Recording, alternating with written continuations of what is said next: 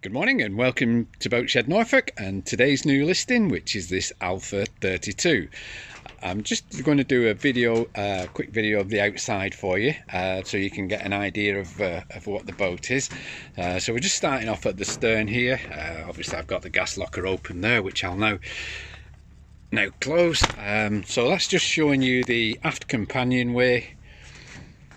Obviously. She has been um, by the looks of things recently painted. She's she's pure white uh, hull and top sides uh, just walking down the side decks here uh, or alongside the side decks should I say.